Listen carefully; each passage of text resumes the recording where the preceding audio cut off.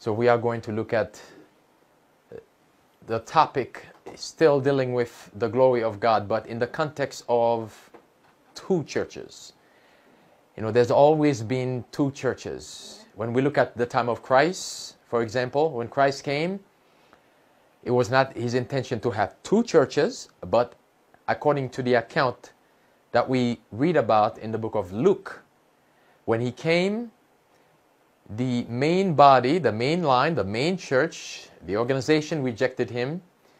Then he went about to seek for a few others to do the work in a self-supported way. A self-supported way.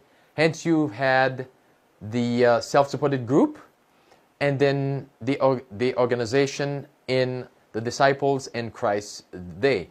And we're going to look at that in the context of the ten virgins, in the context of the ten virgins. Let's have a word of prayer.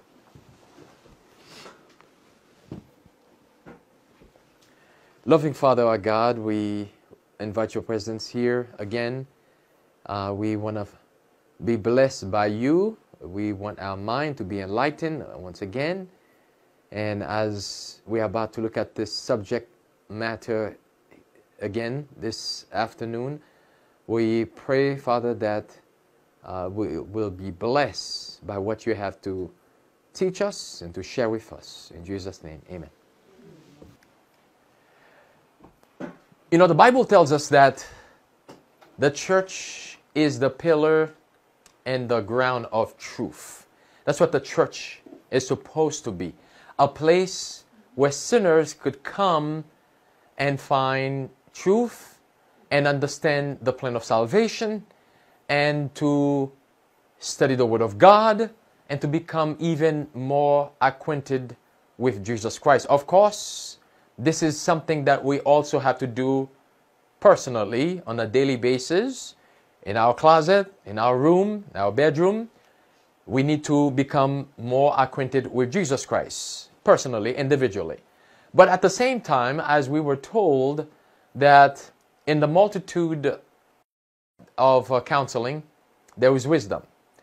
Uh, there was wisdom in the multitude of counseling. And the, the church was organized to not only to be a pillar, a light for Jesus Christ, but also to strengthen each other and to help us grow in grace. But it has to be based on the truth as we are coming together as one, as a group, as a church, as Jesus says. Sanctify them through thy truth. Thy word is truth. And also, the Bible tells us that it is the truth that will set us free. Let's go to the book of Matthew, chapter 25. Matthew, chapter 25. As we are looking at the uh, parable of the ten virgins, those ten virgins there represent as well two churches, two categories there we find describing their allegiance to God, to Jesus Christ, the ten virgins. They all claim that they were Christians, right? They also call their name Christian. They all had lamp, for example, as you see on the screen. They all had lamp. But what was missing they had lamp. They did not have the oil in order to have the light, right? They did not have the oil in order to have the light, which is really the light is the glory of Jesus Christ, the character of Jesus Christ. Hence, when Christ comes again with his glory, in his glory, as we read this morning, and those who reflect that glory, that light, they will inherit the kingdom. He will take them home. The Bible tells us that in verse 31 when the Son of Man shall come in his glory, there, there is the word there, and all the holy angels with him, then shall he sit upon the throne of his glory. How many times you see the word glory there? Twice.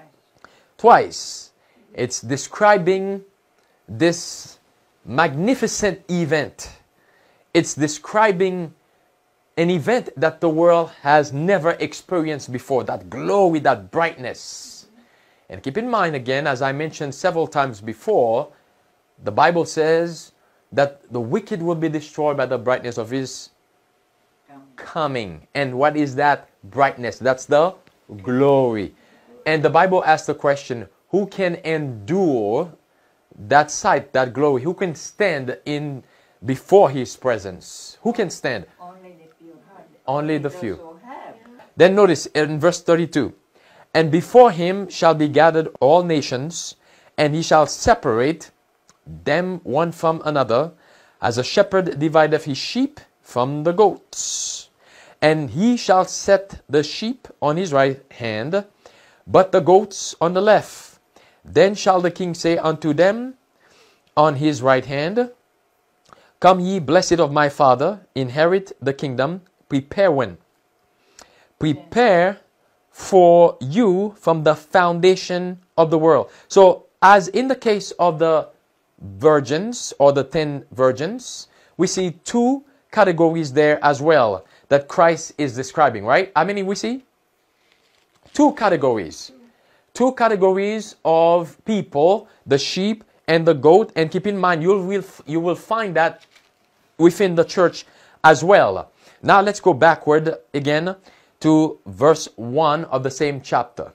Verse 1 of the same chapter says, Then shall the kingdom of heaven be likened unto ten virgins, which took their lamps and went forth to meet the bridegroom.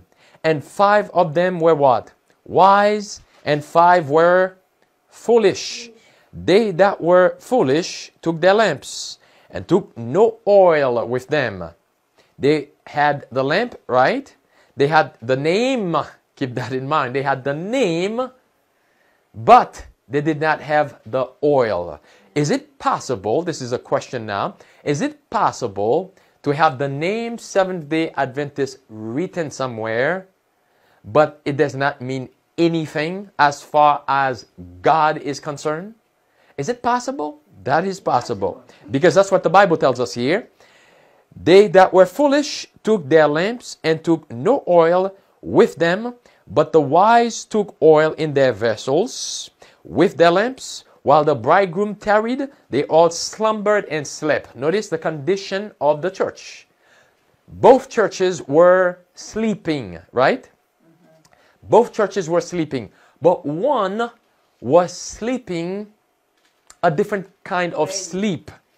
One was sleeping, well, we might say, with one eye open, right? They had made preparation. They were on alert. Right. uh, They- Yes, they slept not because they were lazy, right? They slept because, well, let's just say it was time to sleep. But at the same time, they had made preparation, as we just read. The Bible says that. I did not say it. It says, But the wise took oil in their vessels with their lamps. So they had the oil ready to go in the lamp, right? They had the oil in the lamp ready to go. It was just a matter of time for them to light it up. Amen? It was just a matter of time for them to light it up and to go out to meet the bridegroom because that's what the Bible says. And at midnight, there was a cry made Behold, the bridegroom cometh, go ye out to meet him. Now, when you compare this passage here with the book of Matthew, chapter 13, 7, verse 13, where Jesus described the narrow path and the broad path. Again, two choices. Two churches, two groups, two choices. One will follow the broad path, the other one, the narrow path. When you also compare this with Revelation chapter 3, which describe the last church, the Laodicean church, and then also the church that came before that, which is the Philadelphia church. Now, again, two churches. Remember, as a movement, we studied out as what? As Philadelphia, the brotherly love. Amen? But the church, the organization has turned into Laodicean. And what does the Bible say about Laodicean? Lukewarm. That's what it means. And God says, I will spew thee out of my mouth if you remain in this Laodicean condition, right? God cannot tolerate Laodicean condition. He wants you to make a decision. Either you're going to be hot or cold, right? And that applies to us individually as well, not just as in church, as an organization, but individually. We need to make up our mind what we are going to do. I believe it is the Apostle James who says that a double minded man is what? Trouble in all his way. If you are double minded and you lukewarm, you don't know what to do. Have you ever been in that situation? I know, I've been in that situation. It is not a good feeling. It is not a good feeling when you are being uh, pulled in two directions, two different directions. It is not a good feeling. And you feel like you can't make up your mind. I know, I've been there. But when we are in that state of mind, we cannot have truly peace, rest of mind. We have to make a decision. Either we are going to follow Jesus or follow our own ways. But as we are dealing with the church, God had a very good plan for the church, especially in the end times, dealing with the, the seed of the woman. We are told that God has raised this movement as a light, as watchmen, to sound the alarm, to proclaim the fourth angel's message along with the third angel's message. Our pioneers experienced the midnight cry, which is in the case of the ten virgins there, the midnight cry, the first and the second angel's message and we were given the understanding of the third angel's message and as well of the fourth angel's message. But we have to combine all of these messages together to proclaim this with a loud cry. Let me read you a few things here about the plan, the vision that God has for His church and our work in these last days. Notice carefully on the screen what Spirit Prophecy tells us here from Review and Herald, July 20th, 1886. It is with an earnest longing that I look forward to the time when the events of the what? Of the day of Pentecost shall be repeated with even greater power than on that occasion. John says, I saw another angel come down from heaven, having great power. And what else? And the earth was lightened with his glory. Then, as at the Pentecost season, the people will what? Hear the what? Hear the truth spoken to them, every man in his own tongue. Notice that same miracle that took place then will happen again in these last days. My question is, what is God waiting for to do this? which will be even more than what happened on the day of Pentecost 2,000 years ago. It will be even more. Why? Because they had received the early rain, and we are looking for the latter rain, which is a lot more showers than the early rain. Notice, then as at the Pentecost season, the people will hear the truth spoken to them, every man in his own tongue. God can breathe new life into every soul that sincerely desires to serve Him and can touch the lips with a live coal from off the altar and cause them to become eloquent with His praise. This is what God is looking forward to. That's what that's what God wants to do for the church in these last days. Again, as both the Bible and Spirit of Prophecy tells us, it's the latter rain which is a whole lot more powerful than the early rain. Let's continue to read. Notice, thousands of voices will be what? Imbued. Imbued with the power to speak forth the wonderful truths of God's word. The stammering tongue will be unloosed. Notice, and the timid will be made strong to bear courageous testimony to the truth. I can relate. Can you relate?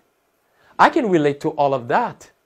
The stammering tongue will be unloosed, and the timid will be made strong to bear courageous testimony to the truth. I used to stammer a lot when I was younger. I mean, it was bad. It was awful. And I was a very, very shy person. I shared this my testimony before. You would pay me a zillion dollars, if there's such a thing.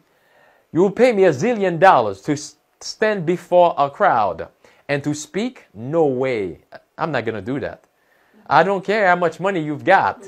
Uh, I, I will not do it. As a matter of fact, even when I was in school, especially in high school, when they would send me, the teacher would try to send me to the board to stand in front of the class, yeah. to do something in front of the class. And all of a sudden, I will forget everything.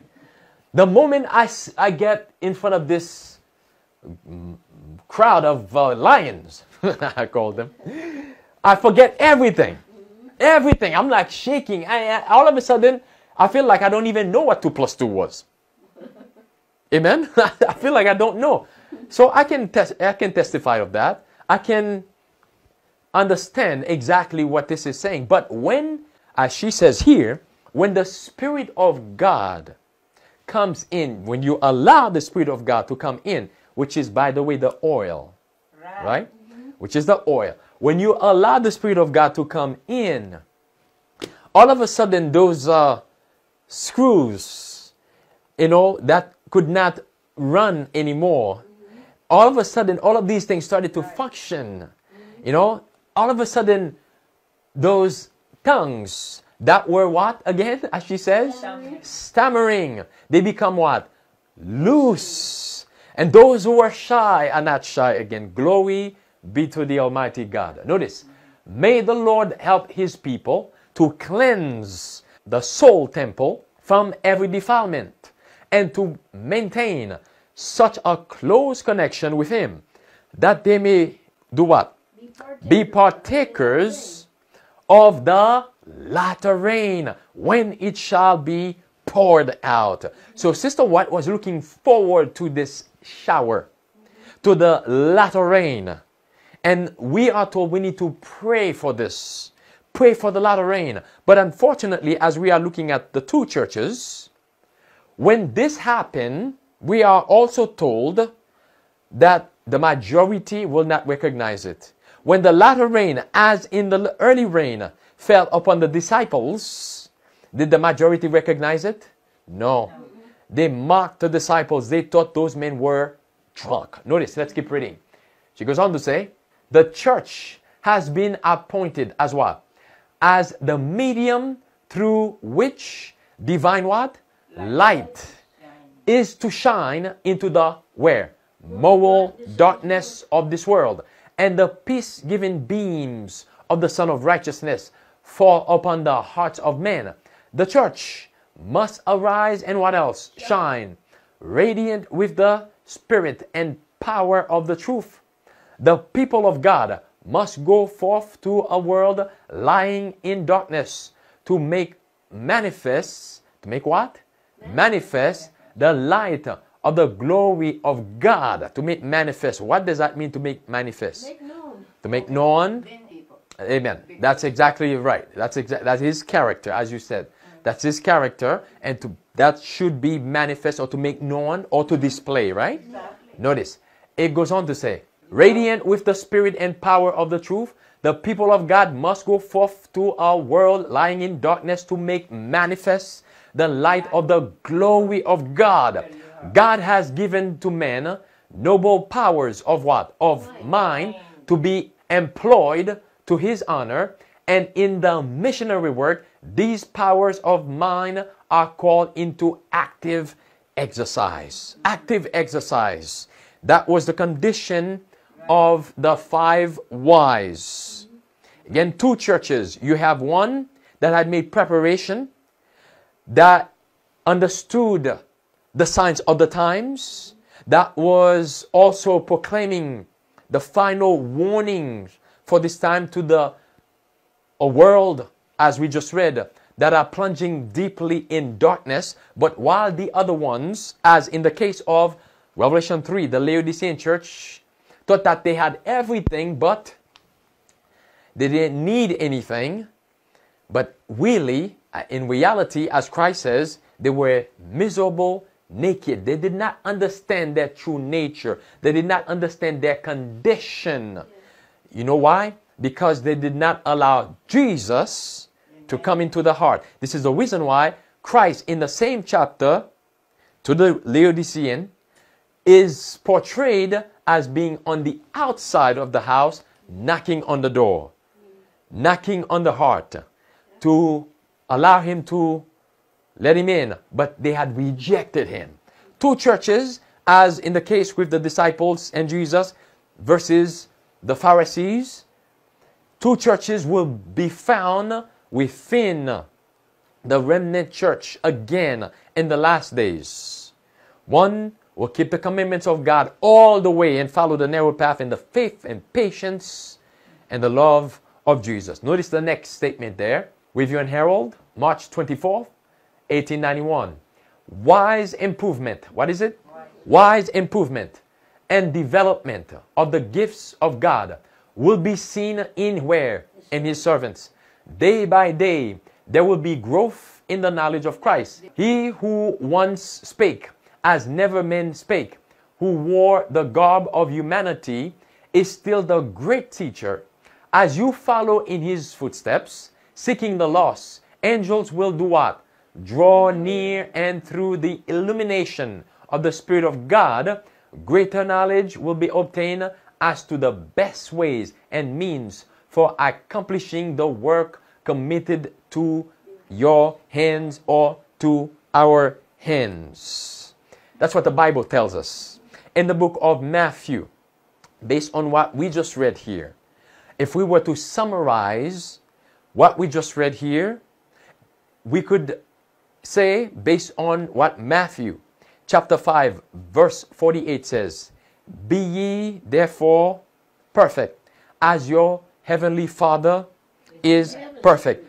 God is calling his people to holiness, has been calling his people to holiness. Even when he brought them out of Egypt, the call was to come to holiness. And we cannot come into holiness and then partake of the sins of Babylon and uh, the pleasures of Babylon. Because the message that we find again in Revelation 18, beginning in verse 1, the earth must be lightened with the glory of the messenger. That's what the angel there represents.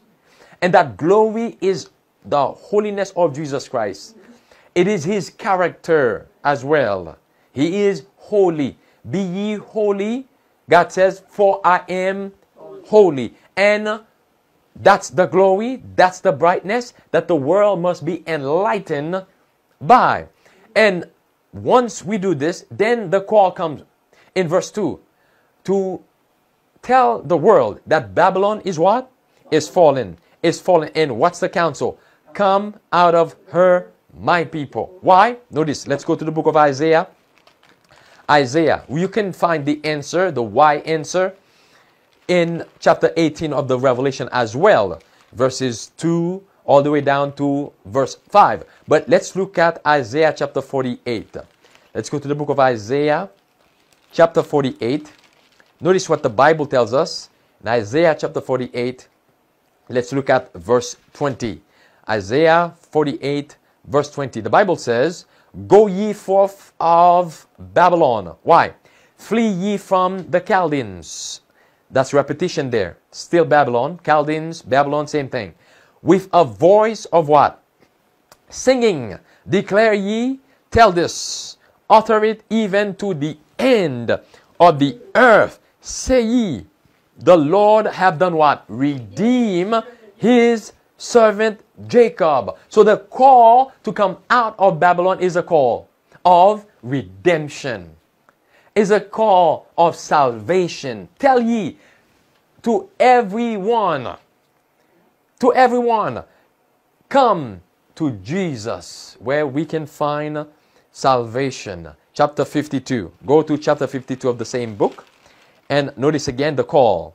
Verse 11 Depart ye, depart ye, go ye out from thence, touch not unclean or no unclean thing. Go ye out of the midst of her. Be ye what? Clean.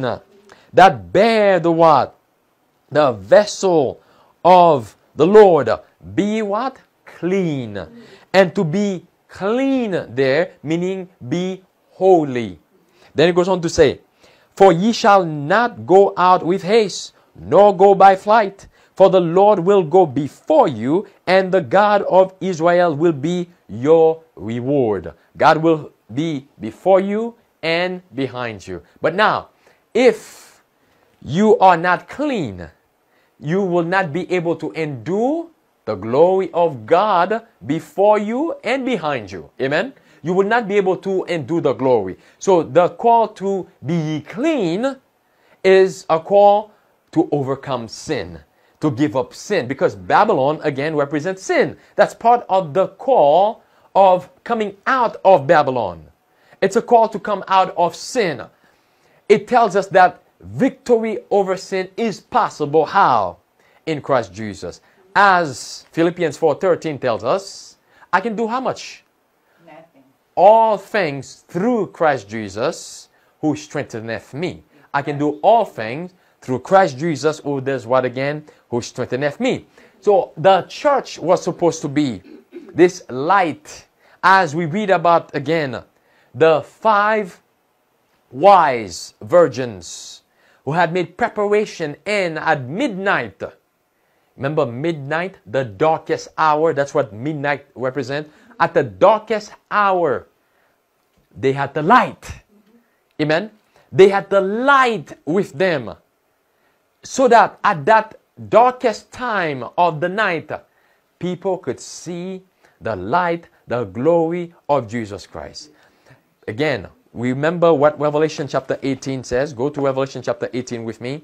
And we've read this before but again we cannot really outdo the word of god. Chapter 18 speaking about babylon the reasons why god is calling a people out of babylon bible says verse 2 and he cried mightily notice the word mightily with a strong voice. What does it say? Babylon the great is fallen is fallen and is become what? The habitation of devils and the hold of every foul spirit. And what else? And a cage of every unclean and hateful bird. For all nations have done what? Drunk of the wine of the wrath of her fornication. And the kings of the earth have committed fornication with her. And the merchants of the earth are waxed rich through the abundance of her delicacy. That's the reason why the call comes in verse 4. So, what the Bible just described to us here in verses 2 and 3, it's the sins of Babylon. So, the call to come out of Babylon is to come out of sin. As Revelation chapter 17 tells us, verse 5, that Babylon is responsible for all the abominations of the world. So, therefore, if God calls us to holiness, to reflect His glory in these last days, there should not be anything unclean among us, anything that would draw us or make us look like we are with Babylon, right? But notice, this is from Advent Messenger, February 8th, 2020. What does it say there? A professor at Pacific Union College says it's time to do what?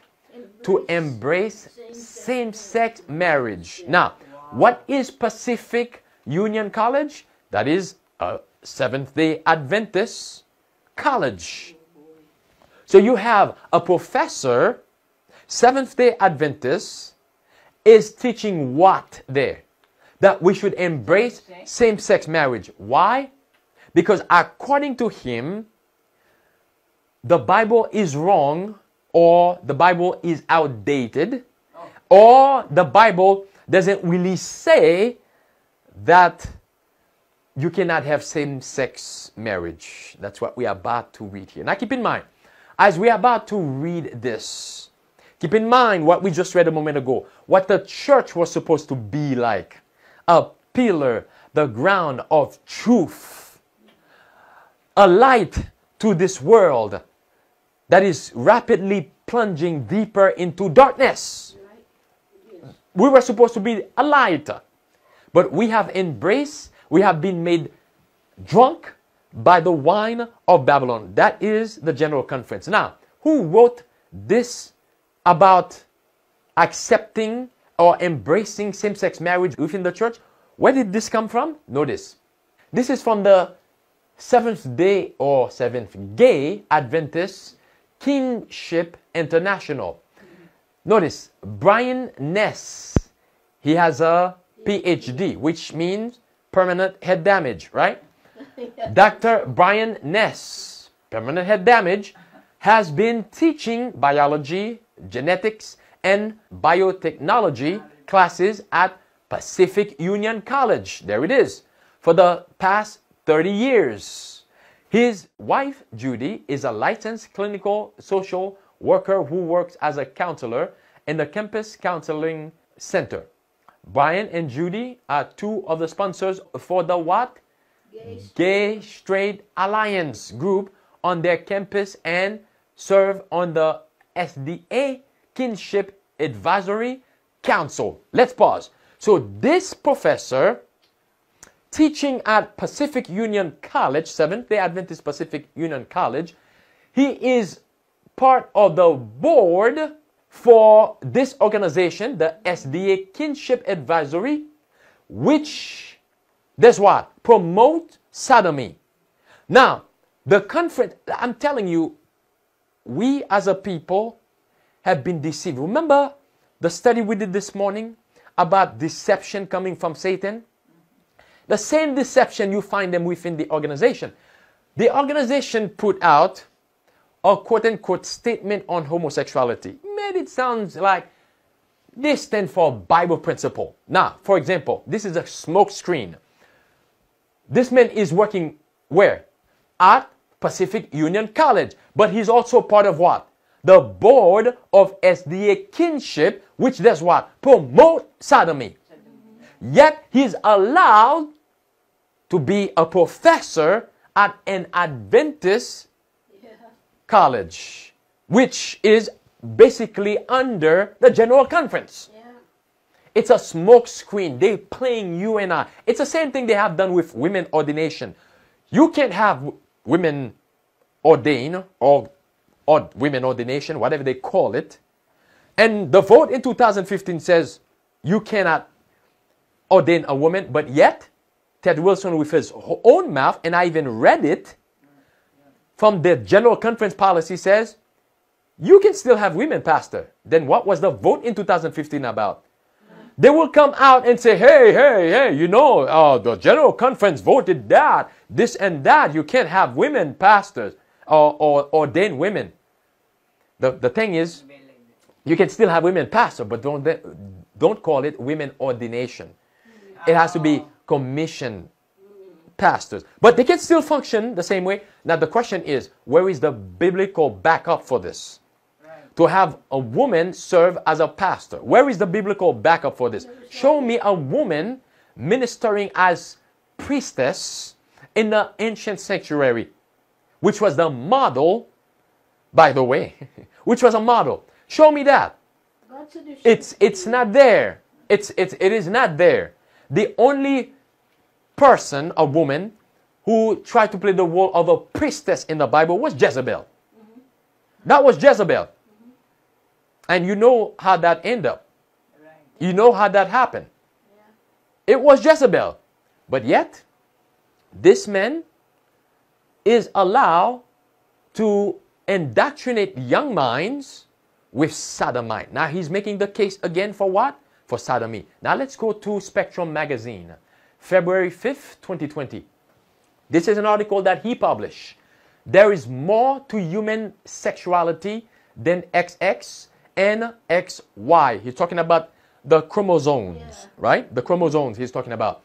As children, we are all taught that humans come in two forms, male and female. What could be simpler? Notice that's a question he asks. But notice what he says.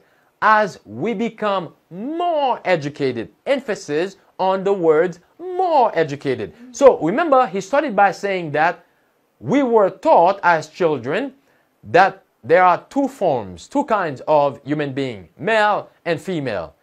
Isn't that what the Bible says? In the beginning, God created them male and female. Created he created them, exactly. But then he asked the question what could be simpler? Then he put this idea in your mind. As we become more educated. Okay, that's what we were taught when we were kids, male and female. But now we're becoming more educated, right? As we're getting older, we're becoming more educated. Now we are discovering uh, the, there are differences in the chromosomes or the X's, the XY's. uh, That's where he's getting at. We learned that male and female are defined by possession of a specific combination of chromosomes, XX making a person female and XY making a person male. But notice carefully, he's questioning all of those things because now we, according to him, we're living in a different time. Notice, he says, recognizing that sexual and gender orientation is biologically based to a significant degree should prompt the church to do what? To revisit policies regarding the treatment of LGBTQ plus individuals as members of the church. If being gay or transgender simply represents part of normal genetically based human variation, how can we consider these individuals any less valued by God? Is it appropriate to hold them to a standard more rigid than expected of others in the church?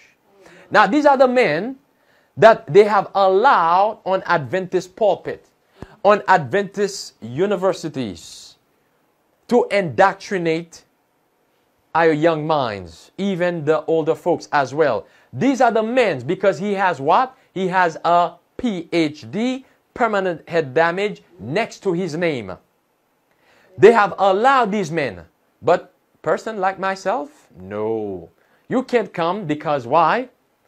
You agitate the people. The message that I will be bringing is unlike the new organization, the, the conference I'm referring to. Notice carefully what it goes on to, to say. Should such individuals continue to be admonished to remain celibate or face being disfellowship? He's making the case again for same sex marriage within the Adventist church. Notice, goes on to say, the traditional basis for prohibiting same sex marriage is the claim, notice, is the claim that the Bible prohibits it.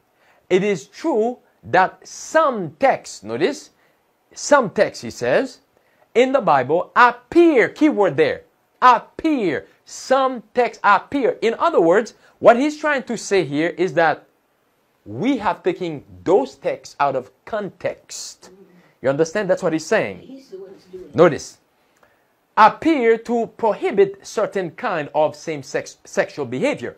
But do these prohibitions, notice, apply to all cases of same-sex sexual behavior? Can you hear the serpent speaking here? Eve said, Yeah. God told us from the day we eat from that tree, we will surely die. We're not even supposed to touch it, she says. And what did the devil say? Ye shall not surely die. That was putting doubt in her mind. Did God really say that? You shall not surely die. That's what he just said. But do these prohibitions apply to all cases of same sex sexual behavior? Now, question for you. What does the Bible say about leaven? A little leaven Leaveneth the whole leaveneth the whole lump. But if you notice what he just said here, what does the Bible call homosexuality? A sin, right? Yeah, right.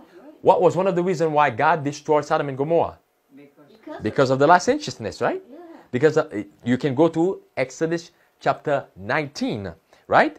Exodus chapter 19. As a matter of fact, let's read that quickly. Exodus chapter 19. Notice uh, not Exodus, I'm sorry, Genesis. I meant to say Genesis. You can read that in Genesis chapter 19. Genesis chapter 19, this is where we read about this account. Notice carefully. Bible says, as these men came to Lot, verse 4, but before they lay down, the men of the city, even the men of Sodom, come past the house, round both old and young, all the people from every quarter. And they called unto Lot and said unto him, notice, where are the men which came in to thee this night? Bring them out what? Unto us. For what reason? That we may know them. What does that mean? You can use your imagination. And Lot went out at the door unto them and shut the door. That means he shut the house, the door of the house, the house that represents the church, and said, I pray you, brethren, do not so, what's the word? Wickedly. So Lot said this was wickedness. And what is wickedness? It is a sin, right? It is a sin. Now let's go to the book of Romans. Romans chapter 1. Romans chapter 1. The Bible tells us the same thing here in the book of Romans chapter 1. It is wickedness. What is it again? It is wickedness. And what is wickedness? It is a sin. Notice carefully in Romans chapter 1, the Bible tells us this here. Let's turn to verse 23. Romans chapter 1. Let's turn to verse 21. Romans chapter 1, verse 21. Because that when they knew God, they glorified Him not as God, neither were thankful, but became vain in their imagination, and their foolish heart was darkened, professing themselves to be, what's the word? Wise. They became what? Fools. And changed the what? There's the word there. Glory. The character. The image of God. The glory of the uncorruptible God into an image made like the, uh, the what? to corruptible men and to birds and four footed beasts and creeping things. Wherefore, God also gave them up to uncleanness through the lusts of their own hearts to dishonor their what? Their own bodies. And what else? Between themselves, who changed the truth of God into a lie and worship and serve the creature more than the creator, who is blessed forevermore. Amen. For this cause, God gave them up unto vile affections. For even their women did change the natural use into that which is against nature, and likewise also the man, leaving the natural use of the woman, burn how? In their lusts, one toward another, men with men, working that which is unseemly, and receiving in themselves that recompense of their error, which was meat. Same thing that happened in Lot's days. And the Bible also tells us in the book of Leviticus, it is an abomination when they do that. Leviticus chapter 18, we go to Leviticus chapter 18. It is an abomination. Remember, God says that it is a sin. When you look at the commandment that deals with adultery, that commandment also covers this. So, like the Bible tells us that He is, God is the same yesterday, today, and forever. That means He does not change. And the commandments are what? A reflection of His law or His character. Notice, let's look at verse 22. Leviticus chapter 18, verse 22. The Bible says, Thou shalt not do what? Lie with mankind as with womankind. It is what? Abomination. Abomination. It is an abomination. The same way he says, Neither shall thou lie with any beast to defy thyself therewith. Neither shall any woman stand before a beast to lie down there too. It is what? Confusion.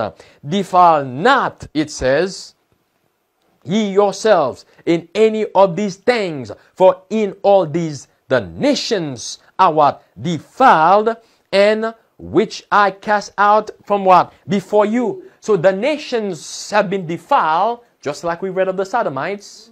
And because of their defilement, what did God do? He cast them out and he prepared the way. He removed them from the way of the children of Israel as they were about to come into the promised land. Same thing. And that's part of the loud cried message to expose Babylon. Amen? But notice carefully. Let's go back to the screen now. A careful review of all the relevant texts finds that none of them addresses same sex sexual relations in the context of. Did you get that? So now the case that he's making is that those passages that I just looked at, he's saying that those passages do not address same sex marriage. So therefore, it's okay to have same sex marriage. It's as plain as all get.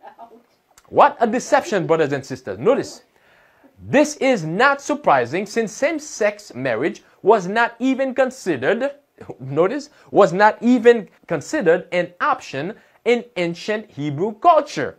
Thus, any treatment of the acceptability of same sex sexual activity within a committed marriage relationship is also absent. You see the you see the snake there?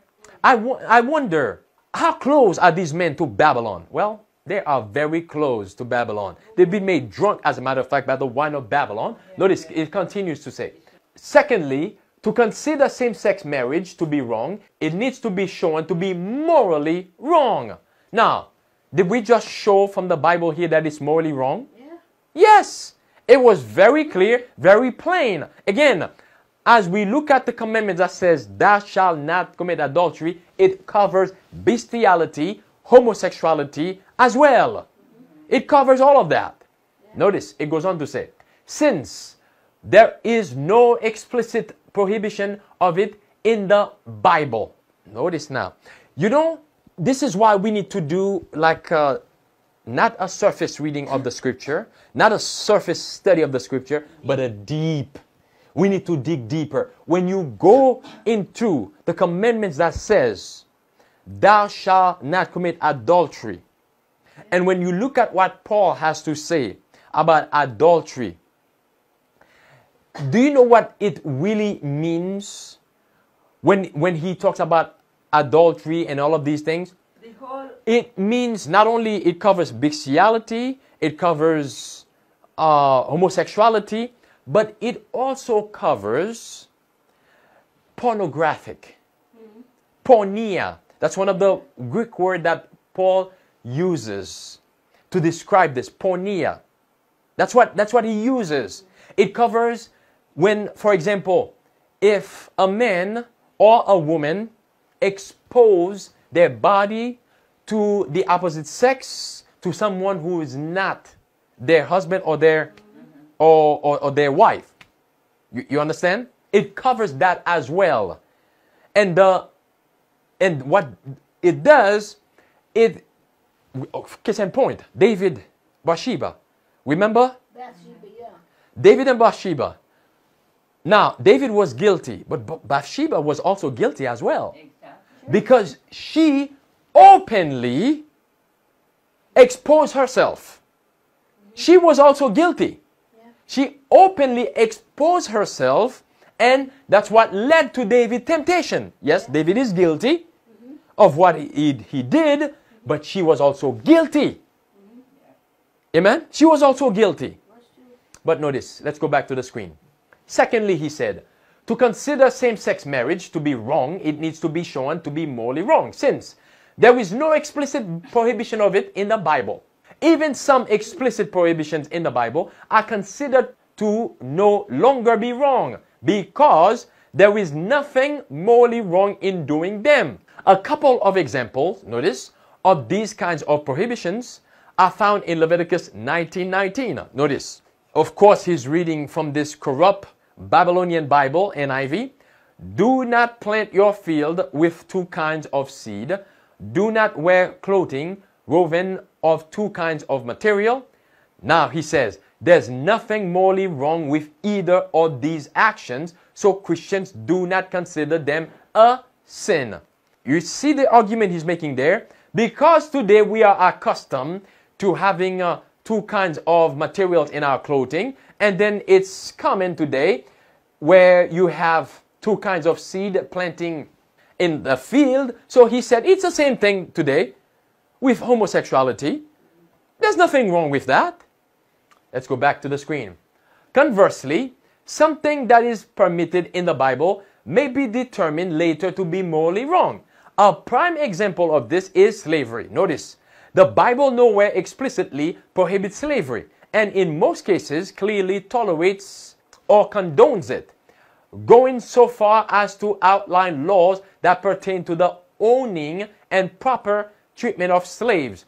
Nevertheless, no Christian today would consider slavery to be morally acceptable. That sounds so logical. That sounds so good, what he's saying here, but it has the venom of the serpent in it. That's right. Right? Notice it goes on to say, I am convinced that a large part of the reason the church persists in prohibiting same sex marriage is what? Is due to misguided purity concerns driven by disgust of same sex sexual behavior. Brothers and sisters, what this man is pushing for here is already inside of the church, but the church, the organization doesn't want you to know this. So they have this infighting, so called infighting, right? But what he's saying here, that's what we've been saying spreading throughout the organization. Recently, we read about how Advent Health, under the General Conference, has done what? Donated a million dollars to who? To a gay nightclub. Yeah. For what reason? To continue to promote sodomy. Mm-hmm. So, when the conference comes and, and give us their whatever they put out, publish on homosexuality, it's a smoke screen. Don't go by that. It's just a smoke screen they put out there. In the meanwhile, they have men like this guy within our churches, within our universities, promoting homosexuality. Is anything happening to them? Nothing. Nothing is happening to those men. They are still prominent professors with their permanent head damage degree, teaching at our universities, and or pastors preaching behind Adventist pulpits. And what are they preaching? Babylonian doctrines. Notice carefully. He goes on to say, people often overcome these biases when a family member or close friend come out as gay or transgender and it enables them to normalize their conception of what LGBTQ plus people are like. Once the church begins to see LGBTQ plus people as a normal part of the spectrum of human variation in sexuality and gender, it should enable us to see the moral rightness of same sex marriage. So, in other words, what this man is saying here, let's just get rid of the Bible. That's basically what he's saying. And let's just embrace the sodomite. What did Lot do when the sodomite, wanted to come in? He shut the door. But this man is saying, let's open the doors wide. Notice, he goes on to say, a number of Christian denominations have been able to come to this conclusion. And it is my hope that what? The Seventh day Adventist Church will reach this point soon as well. What point is that? The point where we open the door for the sodomites. Well, it's already here. Again, smoke screen. Notice what Spirit of Prophecy tells us here. Child Guidance, page 440.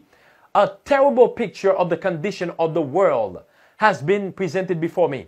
Immorality abounds everywhere. Licentiousness is the special sin of this age. Never did vice lift its deformed head with such boldness as now. The people seem to be what? Benumbed. And the lovers of virtue and true goodness are nearly discouraged by its boldness, strength, and prevalence. And you know what? The members of the Seventh day Adventist Church, the majority of them have been benumbed. In some of our churches, this is being promoted, our universities. But do you hear a loud cry about it? No. Everybody is quiet. Notice, I was referred to which passage? Romans 1 18 32. Remember what we just read there? That is the passage that deals with men with men. Yeah. And God says, I given them up to their own lusts, to this wickedness. Notice, as a true description of the world previous to when? To the second coming of Jesus Christ or the second appearing of Jesus Christ. The condition of the world prior to the second coming of Jesus Christ, as it was in the days of Lot, so will it be in the last days. They want to change the Bible. Notice again, this tells us here from the Christian Institute, new Archbishop of York says what? Bible has to fit the what? The current culture. And what is the current culture he's referring to? Homosexuality. So we have to change the Bible to fit the current culture. And then it's the same thing, same thing that this pastor, John McLarty, is promoting as well at his church. Portions, he said, of the Bible should be rejected to accommodate who? LGBTQ. Which he says in his sermon. This was again at an Adventist church. He says that we must get rid of the ancient texts that Paul talked about that condemns homosexuality. Notice carefully with me. The incoming Archbishop of York believes biblical teaching on sexuality should come second to 21st century cultural beliefs. Stephen Cottrell will take over from Dr. John Sentamu in June, becoming the second most senior clergyman in the Church of England. In 2017, he said Christians need to re-evaluate our understanding of human sexuality Christians needs to what? Re-evaluate our understanding of homosexuality. Let's re that means let's rewrite the Bible. Right. Notice. In 2017, he said Christians need to re-evaluate our understanding of human sexuality and look again at Bible texts, Bible texts, to see what they are actually saying to our situation. to see what they are actually saying to our situation for what we know now is not what was known then. Wasn't that the same case that Adventist professor was making? Yeah. What we know now, remember here when he was talking about the chromosomes? When we were a child, when you were a child, you learn that there are two forms of people, male and female. But as we're getting older, we are more quote unquote educated, right? Now we have PhD, permanent head damage. Now, therefore, we have to reevaluate what the Bible says. Notice, let's continue. For what we know now is not what was known then. He also said there was no reason why Thanksgiving prayers or a communion service could not be offered for civil partnerships. And for this cause God shall send them strong delusion, that they should believe a lie, that they all might be damned who believed not the truth, but had pleasure in unrighteousness. Now, this is John McLarty. Again, very similar movement. It's in the world, it's within the so called Protestant churches, it's inside of Seventh day Adventist Church. Listen carefully. If we are going to be faithful to God, there are times when we must push back against the ancient words. Faithfulness to God does not always mean obedience to the ancient word. Faithfulness to God does not always mean obedience to the ancient word. Faithfulness to God does not always mean obedient to the, to the ancient word. What is the ancient word? The Bible. The Bible. So you don't have to always be obedient to what God says. That's what he's saying. Yeah. And what's the agenda he's pushing? Homosexuality. Mm-hmm. And who is he? A senior pastor of that church. And is he still a pastor there? Yes, he's still a mm-hmm. pastor there. Sure. Notice. And hereby we do know that we know him, if we keep his commandments. He that saith, I know him, and keepeth not his commandments, is a liar, and the truth is not in him.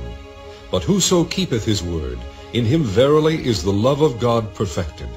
Hereby know we that we are in him.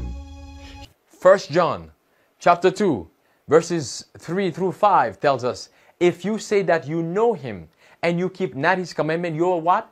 You are a liar. Liar. You are a liar. Amen? Notice. I argue, I have done so in print, and now I will do it from the pulpit. So he has done this in printing. Now he's going to do it from where?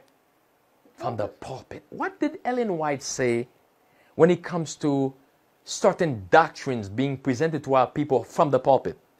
She says, this kind of doctrine will come straight from the pit of hell. Notice. That it is time for us as a denomination, and it is time for us as a congregation to let go of the ancient texts that we have used to exclude people that God has clearly included. It doesn't work. What doesn't work? The Bible. The Bible. The ancient text doesn't work. Let's stop driving and instead let's welcome. Let's not use the ancient text as a basis to exclude people that God has received and welcomed. Let's not use what? The ancient texts to cast out those God have welcomed. Which God is this? Two churches, remember? One church has made preparation to receive Jesus when he comes in his glory. The other church will not be able to stand that glory because they have been made drunk by the wine of Babylon. Notice, there's the statement there from Sister White. Testimony to Minister 409. She says, Many will do what? Will stand on our pulpits with the torch of false prophecy in their hands. Kindle where? From the hellish torch of Satan. And this is exactly what this man is doing. The doctrine that he's teaching there came straight from the pit of hell. While these things are happening in the world, we see the world embracing sodomy fully, openly, and the Seventh day Adventist Church as well. But again, as I cover these over and over and over again, you always find a faithful few here and there within the Roman Catholic Church and some other denomination that are standing up for truth. And as they hear the loud cried message, they will come out and be part of the remnant. Here's one example. Notice this tells us here Texas mega church votes to what? To leave UMC over what? Homosexuality debate. So that church choose to separate themselves from the Methodist Church organization. They, because of the stand of the Methodist Church to embrace homosexuality, so that church says, no, we are going to separate ourselves. We're going to stand on Bible truth. Notice, let's read. A United Methodist Church congregation in Texas with approximately 2,800 members has voted to leave the mainline denomination because of its debate over homosexuality. Grace Fellowship UMC of Katy voted December 15, 2019 to leave the UMC due to the the what?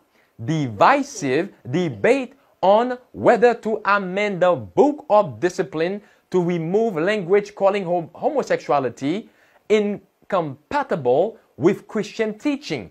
So they have in their teaching, in their belief, a book where it tells of their doctrines, which according to them came from the Bible. And one of the things that the book says is that homosexuality is a sin. But the organization, the Methodist organization, congregation, have been trying to remove that from their belief to embrace sodomy. So that church said, no, if you're going to do this, we are out. Notice. Why? So that we can fully devote our energies and what else? To fulfilling the mission and vision that God has given to us. That's the stand that we need to make in these last days because that's the spirit of Protestantism. Yet, we see all of these abominations taking place within the Seventh day Adventist Church. The majority sit back and stay quiet. But, but thank God, there are a faithful few that are standing up for truth, that realize, they realize that it is Jesus that we must follow. It is not an organization that we have been called to be holy as God Himself is holy. We have been called to cleanse ourselves from all unrighteousness. Notice it says here, if ye be willing and obedient, what else? Ye shall do what? Eat the good of the land. What are the conditions? Willing and what else? And, and be obedient. Obedient to what? To the law of God. Notice. But if you refuse and rebel, ye shall be devoured with the sword. For the mouth of the Lord hath spoken it. Notice. How is the faithful city become and what? Harlot. harlot. How have those who have had, notice who this is referring to here? How have those who have had every opportunity to know the truth become what? Defiled with the corruptions of the ungodly. It was full of judgment, righteousness lodged in it, but now murderers. What else? Thy silver has become dross, thy wine mixed with water. Now, this she also applied to the organization. How is the faithful city becomes a what? A harlot. That's the organization. That's the General Conference of Seventh day Adventists that has become a harlot. And like those faithful few within the Methodist Church who do not have the amount of light that we have as a people, the- but yet they are standing up for the little bit of light that we have. They are allowing their lamp to be burned, to have the light of Jesus Christ. That little bit of oil that they have, they are using it. And you know what? The Bible says that God will bless them with more light. But those who have had great light, God will and not do anything with it and have gone after Babylon, God will take that away from them because God is coming for what kind of church? For a pure and holy church. Go to First Peter chapter 1 with me. First Peter chapter 1, beginning in verse 15. First Peter chapter 1, beginning in verse 15. The Bible tells us in First Peter chapter 1, beginning in well, let's back up to verse 13. Wherefore, gird up the loins of your mind, be what sober, and hope to the end for the grace that is to be brought unto you when at the revelation of Jesus Christ. That is what the second coming of Jesus Christ. As obedient, there's the word obedient there. As obedient children, not do what? Fashioning. What does the word fashioning means? To conform, right? To yield. To what? Not fashioning yourselves according to the former loss in your ignorance, but as he which hath called you is what? Holy. So how should we be? Be ye holy how? In all manner of what? Of conversation. In all manner of conversation. You know what the word conversation means? Conduct. Yeah. In our conduct, in our character. Because God calls us and He is holy and He's calling us to holiness. As He says, as He called you to be holy, so be ye holy, holy in all manner of what? Of conversation, because it is written, Be ye holy, for I am what?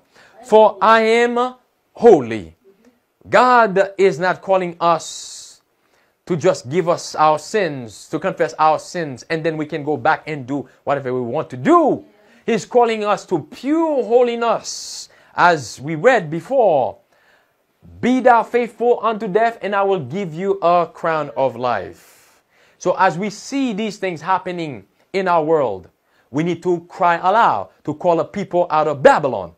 As we see them happening within the organization, within our church, we need to also cry aloud because we are seeing the wine of Babylon being embraced and preached and teach within our church. Hence, Isaiah chapter 58, verse 1. Cry aloud, spare not. And what must you do? Lift up your voice. There it is like a trumpet, and do what with it? Show my people their sins and the house of Israel their transgressions. Let's pray. Our Father God in heaven, again, you have given us much. Your word says, To whom much is given, much is required. Help us, Father, to use the light that you have given us so that you can impart unto us greater light and help us, Father, as the Apostle Paul says, to allow you to transform us from glory to glory, from character to character, until that perfect day when you shall appear in the cloud of glory to deliver your people from this sinful world. I pray for your people wherever they are at this time, that they would surrender their lives to you. I pray for those, Lord, who have been leading your people astray, that they would repent and see their errors and come and ask for forgiveness. We pray for forgiveness for all of us here because we all have sinned and come short of your glory. In Jesus' name, amen.